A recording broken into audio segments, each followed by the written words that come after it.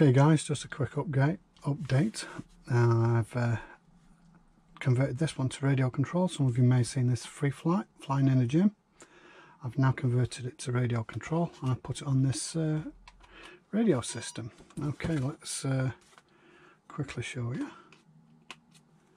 So I have control over the motor and because it's got a lot of dihedral in there, I'm going to be using rudder. So I've just got to centre that up and be right. The beauty of this conversion is that it's not added a lot of weight. It's using the existing battery that was in there originally and it's all easy to dismantle.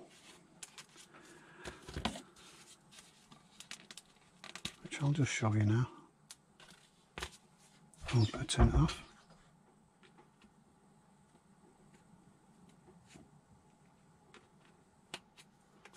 Off. Off.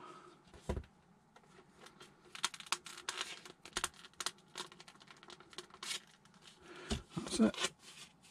All goes dismantles again. And that's my control system. Nice and simple.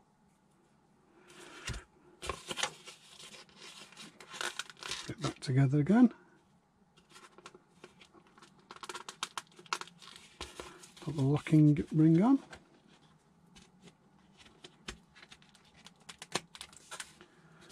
There we go quick and simple. Right, okay, the other thing I've got to show you today. Okay, so the other thing I've got to show you today is this big glider.